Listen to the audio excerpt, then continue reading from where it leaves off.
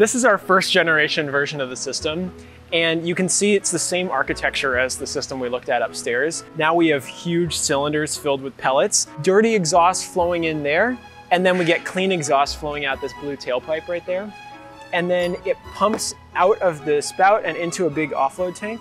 I know what a remora is, so I think I get the name, but I should ask to be sure. So it's this sucker fish that has a symbiotic relationship with sharks where it sucks on and cleans them. So we are sucking onto trucks and trains and cleaning them.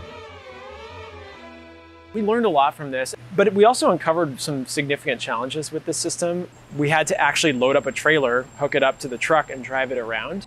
Our next step was a unpackaged version of the system. So this was our solution.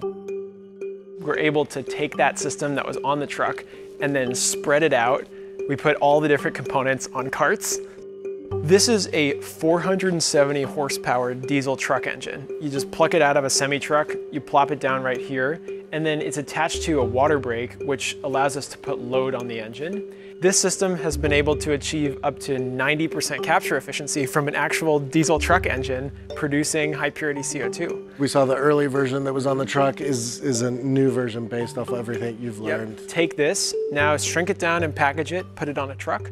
The other next step is to take this, scale it up, and put it on a rail car. While Remora will continue on with the truck technology, it appears that its first carbon capture systems will actually go on to the trains, where it has more room to suck. This is our train.